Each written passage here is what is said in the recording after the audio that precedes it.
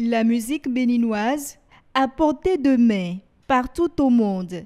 Désormais, vous pouvez savourer les plus beaux morceaux des années 60 sur votre smartphone via Internet.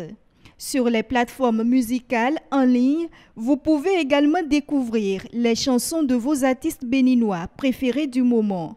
Le Bénin vient d'amorcer cette ascension irrésistible du digital grâce au partenariat Blue Diamond Universal Music Africa.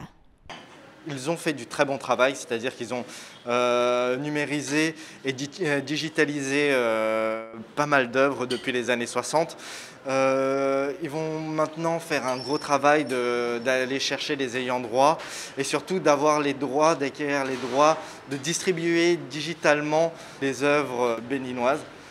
Euh, sur, euh, sur toutes les plateformes digitales. Je trouve ça super. La discographie béninoise, minutieusement digitalisée, permettra aux artistes béninois de ne plus perdre leurs œuvres, mais plutôt de les pérenniser. Qui dit numériser en termes d'œuvres musicales parle d'immortalisation. Lorsque nous immortalisons une œuvre, ça veut dire que ça devient un héritage que les ayants droit peuvent monnayer, peuvent monétiser. Aujourd'hui, leur œuvre numérisée devient un héritage tangible, palpable, sur lequel ils peuvent gagner de l'argent suivant les succès qu'ont connus leurs parents et, même léguer à leurs petits-fils. Et dans cette nouvelle aventure, le Bubedra promet de jouer pleinement son rôle, veiller sur les intérêts des artistes béninois.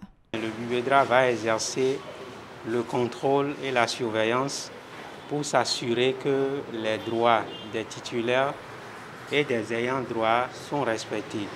À cette occasion, Fanico annonce la sortie de son deuxième album, prévu pour février 2022.